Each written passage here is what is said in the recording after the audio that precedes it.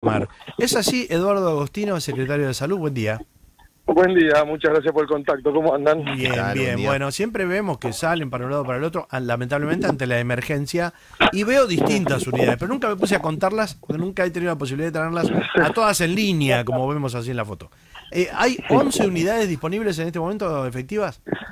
Exactamente. Los, los móviles que eh, vinieron siempre la progresión de los años mediante convenios, eh, fueron, arrancaron con dos, te diría hace cuatro años más o menos, cinco años. Eh, ya en pandemia eh, vinieron cuatro, eh, donde se apostaban cada uno en los extremos de nuestro partido, en, la frontera y en Cariló. Eh, después ahí se hizo una, y una base en Munge y el Mar. Eh, otra itinerante para todo lo que era la parte de, más que nada derivaciones de emergencia. Estamos hablando de convenios con el Ministerio de Salud de la provincia, ¿no? Sí. Y eh, este año la novedad de alguna manera es que eh, las ambulancias de los extremos del, partido eran más que nada de rescate, eh, no eran de traslado. Entonces, la, no solamente vinieron para nuevas eh, con todo el equipamiento para hacer el traslado hacia el hospital, o sea, nosotros eh, el, recurso tan finito que tenemos como municipalidad en ese sentido eh, se optimiza muchísimo, sino que agregaron una tercer ambulancia 4x4, entonces totalmente equipada. Así que no solo, de vuelta, no solamente vino una ambulancia más de las que habían venido el año pasado, eh, sino que cambiaron eh, el equipamiento y la, prestación. Y eh, a su vez también en esto de, ya hace varios años que, nos conocemos con la gente que viene y te diría gracias a muchas gestiones siguen eligiendo a Pinamar porque así como hay otras en otras en otros ámbitos eligen Pinamar para venir a vivir o para venir a trabajar. Eh, esta gente que está 15 días, pues son, son equipos que van cambiando 15 días hasta el, el primero de marzo, eh, elige Pinamar para venir a trabajar, porque hay otros lugares donde... Eh, Pero eligen, decimos, ¿eso se puede optar porque son personal de la provincia? Exactamente, sí, sí, en realidad uno se ofrece eh, para, para hacer estos operativos, mucho, yo lo he hecho algunos años también cuando cuando hacía guardias, así que, pero te encerrás 15 días.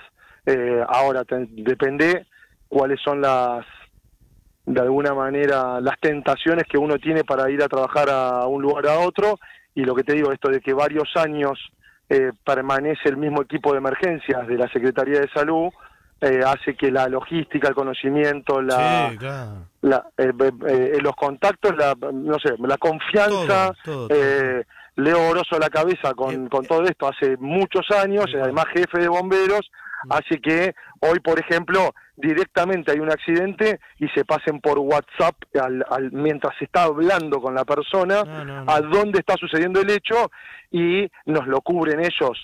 Entonces, eh, o no lo cubren o van en apoyo. Entonces eso de vuelta, eh, nada, no, no, no se consigue fácilmente. Claro, eh, ojalá vengan, y que se entienda esto, que vengan a pasear y a tomar sol.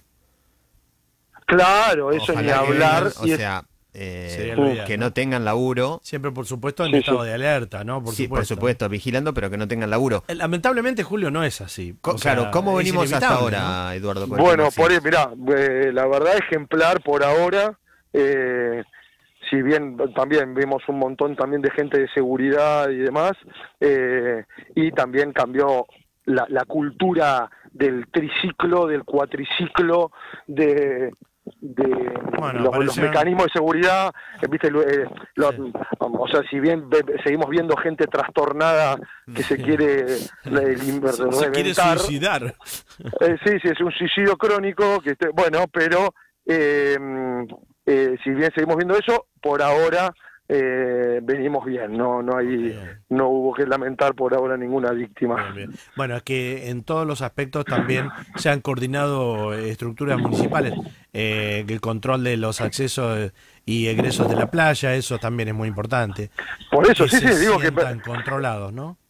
La como todo cuando uno va porque nada, sabemos que somos uno de los únicos municipios donde eh, lo pueden hacer con tanta libertad. El problema que, como sabemos también, que cuando nos dan mucha libertad, eh, la, utilizamos mal. Pero bueno, eh, creo que ya la gente sentó cabeza y también de vuelta que cambió esta cultura, eh, los UTV tienen otro grado de seguridad y eso hace también que, que, los accidentes no sean tan graves. Mm.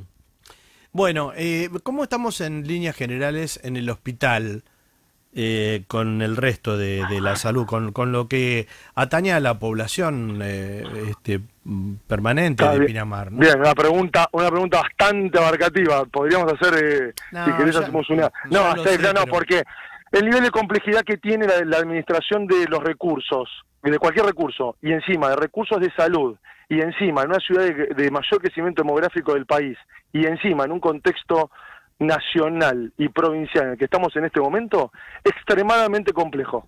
Si querés que te la haga, eh, eh, ¿cómo estamos?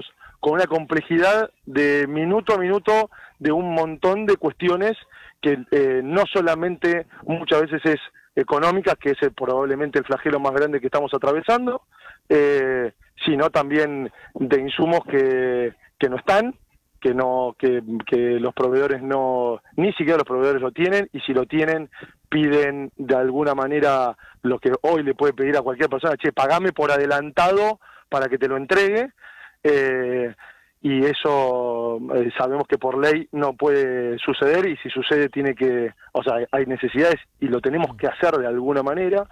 Pero bueno eh, te, te diría en este momento con una estrategia de supervivencia eh, con, con la cooperadora, con la fundación, con un montón de, de, aportes también desde el punto de vista de la comunidad para eh, agrandar la sala de pediatría, agrandar la sala de, de, espera de la guardia, que es el lugar por ahí de, de mayor temperatura, eh, y con, por ahora, con, con, enero y febrero en una merma en la caída de, la demanda de la gente a los consultorios, que sabemos que va a explotar porque la, la, las obras sociales, eh, las prepagas se fueron eh, por las nubes y, eh, y, y además a los profesionales no se les fue por las nubes los valores de la consulta, por ende no eh, muy poca gente, muy muy pocos profesionales están atendiendo en, eh, de forma con obras sociales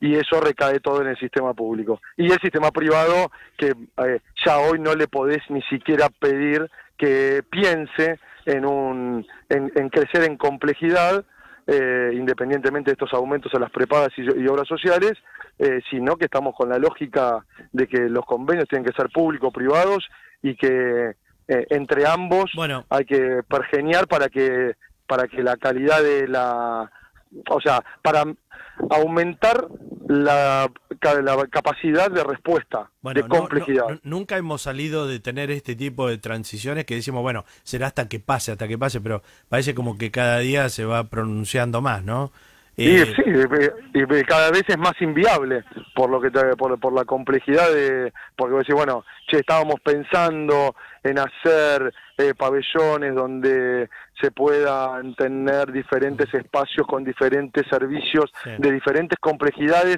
donde la facturación se la lleve el privado y el Estado pueda... Y, pues, eso... ¿Y, qué hay de los lugares de ampliación que se habían planeado, como el caso del área que está ya habilitada en Intermédanos? Ya tiene eso está, mira, estoy en este momento acá, tenemos el vacunatorio que lo sacamos de ahí de, de la isla, de, de ahí del hospital, eh, tenemos eh, consultorios todos los días de medicina general, de psicología, eh, esta medicina laboral, ahora está la eh, IPS de la municipalidad, está todo el área de estadística, de epidemiología, parte de lo que es compras y recupero de la, de la Secretaría de Salud. Eh, está docencia e investigación. Eso- eh, eso- ese sí. lugar necesita una especie de habilitación del Ministerio No, no, de no. Salud. Ya está habilitado y el año que viene entró ya en la coparticipación. En agosto de este año presentamos todos los papeles, o sea, nos aprobaron toda El la... año pasado sería, ¿no, Eduardo? Perdón, sí, gracias. Ya entra para Eh, este 2024. Claro. Eh, sí, lo que pasa que, en- que entre la habilitación para el 2024 quiere decir que lo vamos a ver, sí, vamos a ver las consultas ahí, la, la- esa fórmula polinómica de la bendita coparticipación, sí. eh, una son los establecimientos de salud sin internación, eh, lo cual nos ingresó el último mes 13 millones de pesos por cada centro de salud sin internación, la importancia ¿no? de habilitar todo. Claro, claro. Y eh, la otra es, son, es, es la- es las consultas, la coparticipación de las consultas, que se lleva un 25% de ese 37 que viene en coparticipación al sector salud, eh, ya las podemos, o sea, ya estamos habilitados para hacerlas dentro de este eh, centro de salud nuevo. Bien, Bien. perfecto. Eduardo, no te robamos más tiempo. Gracias. Eh, gracias por estos datitos, ¿eh? Por Eh, favor, cuando quieran. una